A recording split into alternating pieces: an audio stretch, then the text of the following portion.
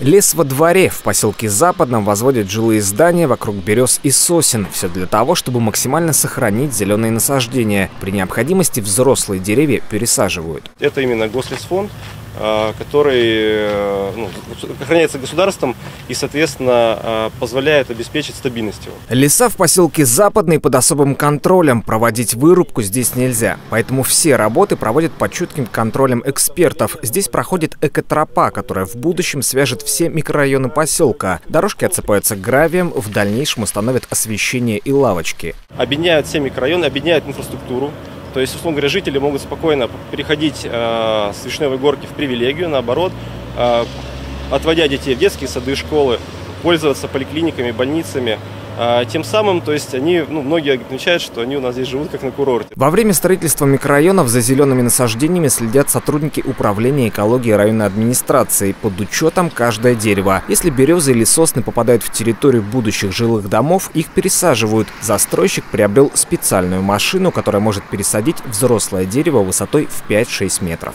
Приживаемость очень высокая. Вот этот пересадчик, который да, э, делается, он до 95% э, приживаемость идет э, деревьев. Если дерево пересаживается э, не больное, да, то 95% должно даже в зимний период можно пересадку эту осуществлять. В микрорайоне «Привилегия» пошли еще дальше. Здесь жилые дома возводят прямо вокруг берез и сосен. В итоге во дворе сохраняется многолетний растущий лес. Чтобы реализовать такой экосберегающий подход, застройщик разработал и применяет нестандартные строительные решения. Основная задача нашей компании и нашей всей команды это в том, чтобы сохранить все те э, зеленые насаждения, которые естественным образом исторически сложились. Поэтому мы поменяли, пересмотрели и поменяли весь подход к строительству, и все дома, все э, кварталы, которые мы застраиваем, мы везде сохраняем э, деревья в той естественной среде, где они были созданы. И речь не только про малоэтажное строительство. В привилегии вокруг деревьев возводят даже семиэтажки. В дальнейшем работу в экосберегающем формате застройщик будет продолжать.